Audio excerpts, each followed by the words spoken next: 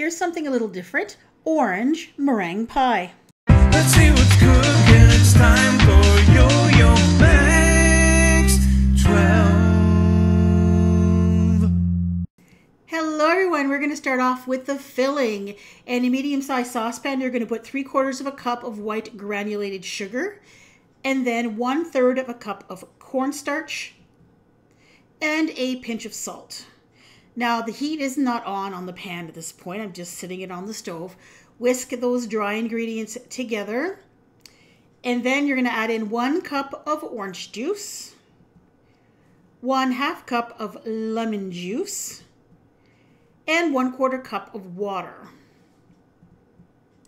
Give that a little stir and then add four large egg yolks and when you separate your eggs, hold on to those egg whites because we're going to be using the egg whites for the actual meringue of this orange meringue pie. Blend in those egg yolks, and now it's time to turn on the heat. You're going to cook this over medium heat, stirring frequently until it starts to thicken. Now, when it starts to thicken, you should be stirring constantly because you don't want your the bottom to burn. It'll thicken up super fast. Once it starts to thicken, it goes really fast. So keep an eye on it. And then once it gets nice and thick, you should start seeing bubbles coming up through there. It starts to bubble. Take it off the heat. Now you're going to add in four tablespoons of butter cut into chunks, two teaspoons of grated orange zest, and then stir this together until the butter is melted. And if you want, you can add in some chopped up orange pieces if you'd like. I added about a quarter cup of pieces of orange in there. And I stirred the orange pieces in, and then you're going to pour that into a baked and cooled pie shell. Cover it with plastic wrap, and I put mine in the refrigerator just to cool it to room temperature. While you're waiting for that to happen, you can make your meringue.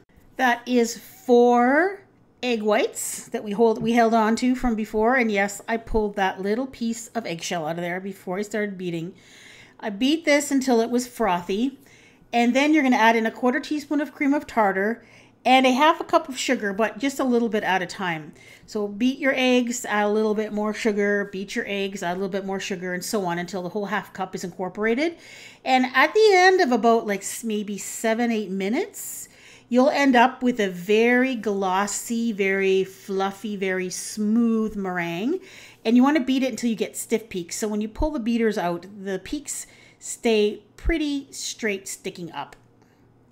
And then you're going to place that on top of your pie. I just kind of put it in a big pile in the middle and then I use a spoon to spread it around.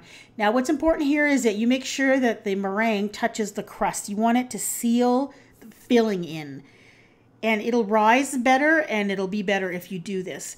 And then I always make little kind of little curly, little sticky uppy little peaks to make it look fancy.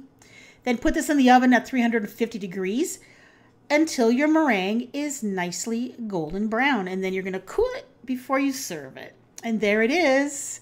Looks gorgeous. That filling set up just perfectly. And it is absolutely delicious it does have a little tang to it because you do add lemon juice, but the flavor of the orange comes through 100%. It is sweet and delicious and such a great alternative to lemon meringue pie. If you have a lemon meringue pie lover in your house, they're going to love this one too. I keep mine stored in the refrigerator. This recipe was a winner and it will be made again in my household. If you love the flavor of lemon meringue pie, check out these recipes.